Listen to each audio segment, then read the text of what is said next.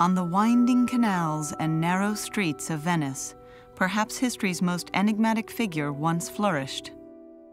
His writings have given scholars a window into 18th century life and given the world the challenge of envisioning a man with innumerable masks. A man renowned for his tales of love affairs, gambling escapades, and acts of espionage long past. Giacomo Casanova still sparks the curiosity of audiences today. In 1960, sparks turned to flame as previous sections of Casanova's autobiography, Histoire de ma vie, were uncovered and published. Since then, speculation and doubt have grown against Casanova's sincerity in recounting his own history. Many claim that Casanova's work is pure fiction, while others assert his honesty. Of particular controversy is Casanova's self reported family tree. While Casanova stressed his European ancestry, rumors have circulated for hundreds of years that his biological roots may have Armenian origins. Only recently, however, have clues been unearthed that may change history. Could Casanova be Armenian? If so, why lie in personal writings about his own ethnicity? Is the Casanova found in his memoirs genuine, or simply another one of his many masks? The answers are hidden deep in the streets and canals of Venice.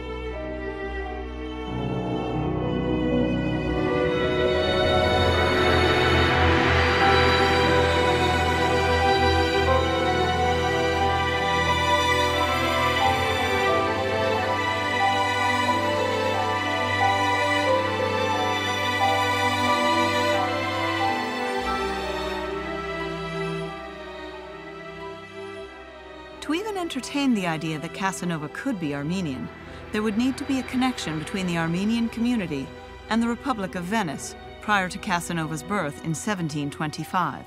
There were so many Armenians. There was a huge population of Armenians in Venice. Somewhere back in, in his lineage, it's, it's easily conceivable that there was an Armenian.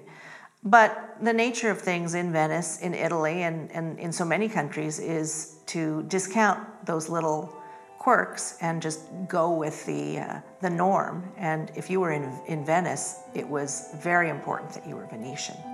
A fading footprint of the Armenian presence in Venice can be seen in one of the city's most iconic locations. Engraved in the pillars outside St. Mark's Basilica are the Armenian letters left there by merchants and pilgrims of the 15th and 16th centuries. Venice had always been uh, the most important commercial center in the Mediterranean. It was a city that always lived on business. Venetians were very open minded, and uh, people came from all over to find something in Venice. Armenia was well located on the, along the Silk Road.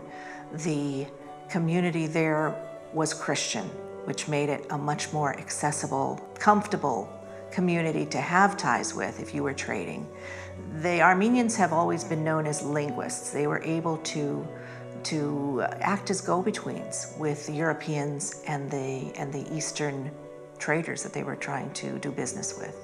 The Armenian commerce was the only positive thing for the Venetian economy. And so the Armenians contributed highly to the Republic of Venice in those difficult days. Despite this formidable economic power, Armenians, like other foreigners, were still denied certain privileges, such as owning a home. Instead, Armenian families would rent, forming communities within the city itself. Behind that bridge, we have Ruga Uh, in Venetian language, Ruga means a very tiny street. And Giuffa is the Venetian deformation of Julfa, uh, an Armenian city.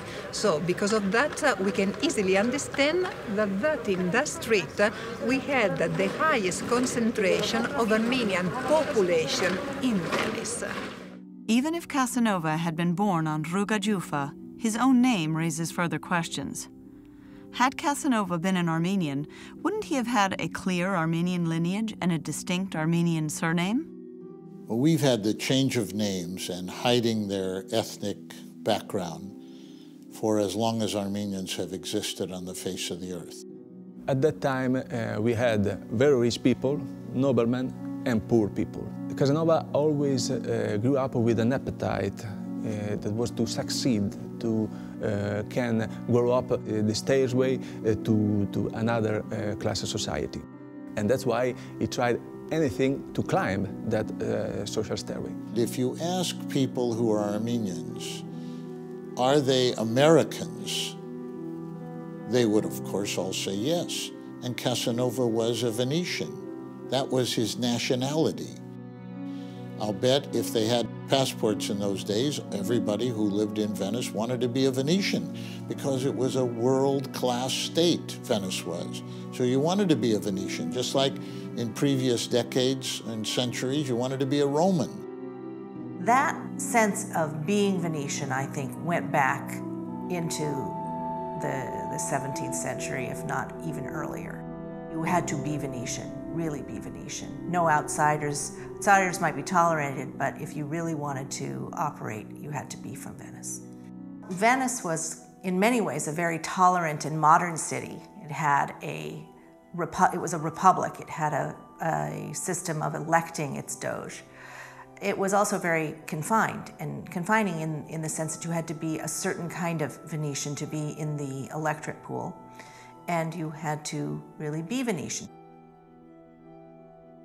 In 15th century, 16th century, the Armenians changed their name in Venice in order to get privileges as the sale of real estate was forbidden by a Venetian law. So Armenians, as far as Armenians wanted to buy houses, not only to rent houses, but to buy houses for themselves, they just Italianized their surnames in order to get privileges.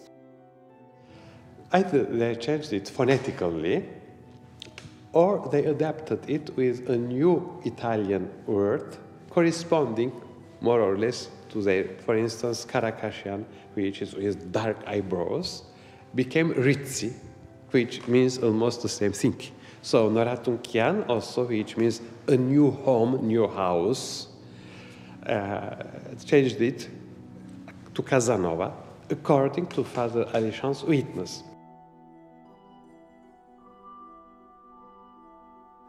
And going ahead, we see the complete list of Armenians who lived in those centuries, and we see how they changed their surnames. So we see Adamian, Adami, Azat, Ajati, Aslan, Leoni, and Yerijanens, Lauri, Mikhailian, Micheli, and finally on page 502, we see Noratung Casanova from Constantinople, century 18th, and generations for generations. Shadowed in the sanctuary of the Armenian Church of Surp Khach, a connection emerges between Alishan's catalogues and historical possibility. From archive documents, we knew that there were family tombs. So when we went there, in fact, we found out multiple tombs, and in one of them, there was literally written that this is the tomb of Noratung, son of Sakar from Istanbul. We see, in fact, that Alishan puts Constantinople as uh, origin of Noratung family. So we can say for sure that this is the tomb of one of uh, members of Noratung family who afterwards had changed its name into Casanova. We are sure about that. This fact has excited the thirst of some people who rose the question whether Giacomo Casanova could have had drops of Armenian blood.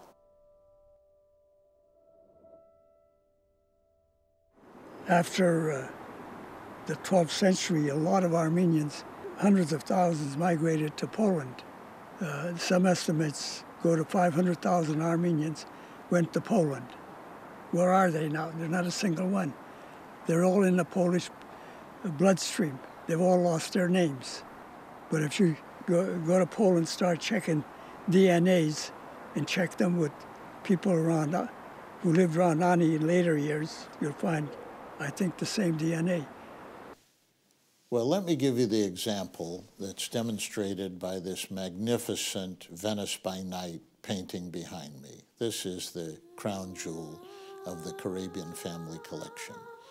This was painted by Ivan Konstantinovich Ivazovsky. Now, he was baptized with a different name. His name was Hovanes Ivazyan, and his baptism records exist and can be found. He was an Armenian from a pure Armenian family. But I suspect that when he introduced the first painting to the Tsar's court and was made an official painter of the court of the Tsar, that he probably thought it would be easier to get recognized and accepted if he had a Russian name. This has been one of the motivations that Armenians have changed their names for years. And so Hovannes Ivazyan became Ivan Ivazovsky.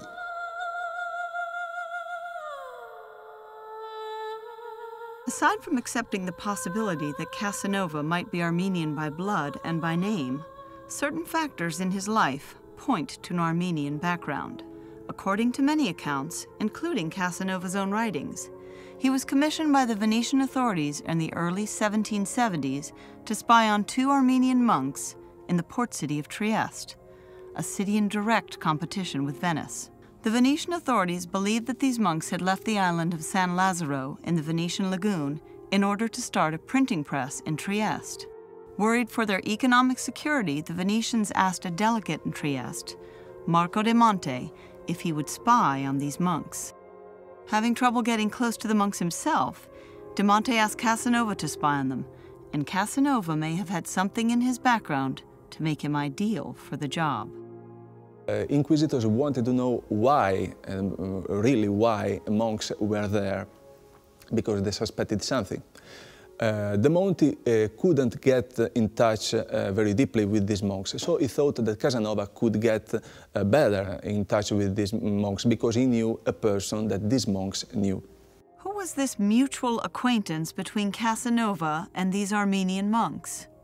There is no record of a specific name.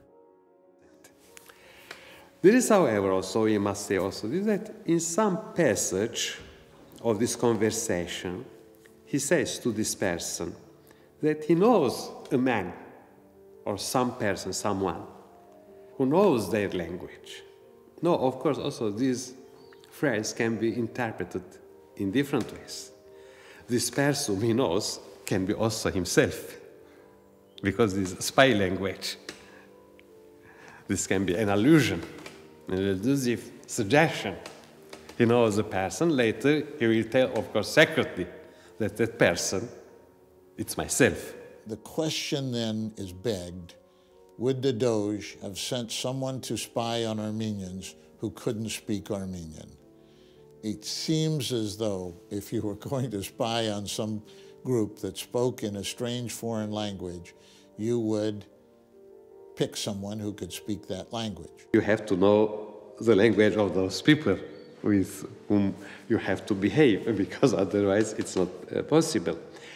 And it is, I think, a support to the hypothesis that Casanova belonged to this Casanova family, which was of Armenian descent. And this hypothesis, this hypothesis, this possibility, even I would say, this great probability that uh, the famous Casanova may belong to this uh, Armenian family of the Noratunkian who changed their name. This was a very, very common feature in those times. So, taking into the consideration that we are sure that Casanova was in Trieste and that Casanova in 1770s was engaged in a difficult task of spying Armenians for Venetian government, we can say that Casanova being Armenian is highly probable. You know, it became another uh, pebble in the scale weighing toward Casanova being an Armenian that he was sent because of his ability to speak the language of the people the Doge wanted to spy upon. Although never admitted in his writings, could it be possible that Casanova spoke Armenian and kept it quiet? If only those closest to him knew his secret, Marco de Monte would have all the more reason to recruit Casanova as a spy. Perhaps the most glaring opposition to the concept of his potential Armenian heritage is Casanova's own account of his genealogy. In Histoire d'Ami Casanova recorded an extensive family tree reaching back to the 1400s.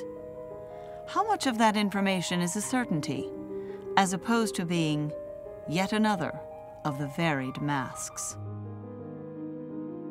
The more we go farther from uh, the period in which Casanova writes, the more uh, there are discrepancies.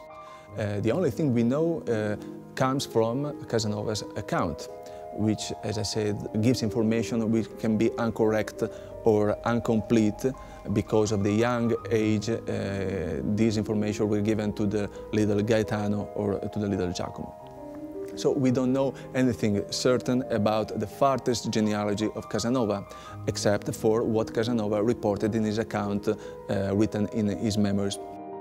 The only thing we know uh, for certainty uh, regards the last two lines uh, before Casanova, so uh, Casanova's grandfather and Casanova's father, and then his family, I mean uh, Giacomo Casanova's family as regards his brothers and his sisters. So he has to mix together real facts and then he has to uh, embellish, to fortify some, some events in order to give to posterity uh, an image of what was his century, but even to what was himself. I don't know if his genealogy is real, but it is a, a weapon, a, a, narrative strategy, uh, which uh, autobiographers used to, uh, to have in order uh, to, to give a basis for, uh, for their life. Could the previous generation be the Noratunkian family of Venice? Could Casanova's father have changed his family's last name in order to simply buy a house? How can a genealogy riddled with so much fiction be trusted? It was so uh, a, a, a peculiar person that I never thought about him as only Italian. I usually uh, think about Casanova as a citizen of Europe. Probably his family had Armenian roots, but maybe he didn't know that very well. And even if he knew that, it was not so important for him. Hmm? That was for him in those days a minor detail. Armenians living in Venice were very well tolerated and very successful. At the same time, uh, an Armenian would not have been on the inside circle of Venetian life, of Venetian uh, society. You would only be there if you were Venetian. So I would easily think that uh, someone wanting to excel and advance in the Venetian hierarchy, the Venetian society, might easily put their Armenianness aside in favor of becoming 100% Venetian. Maybe Casanova uh, would have hidden the fact that he was Armenian, or maybe not. We, we won't ever know.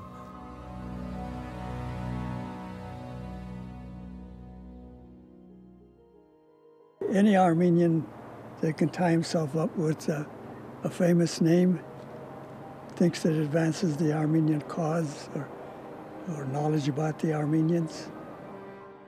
The Armenian people, uh, like other peoples, like to be recognized by the world. They want to be recognized for good things or famous things.